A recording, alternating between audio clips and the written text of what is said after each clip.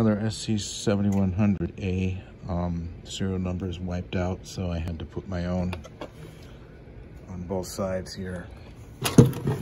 This one is number one. Two issues. Lights on because of the battery.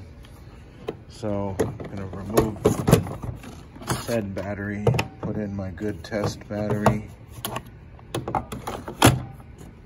Lights go out, but we have a problem with the on-off switch, as you can see. And there's a motor issue. So we're gonna have to process this one as a uh, foot head assembly. This unit's battery was replaced on 12422 and here's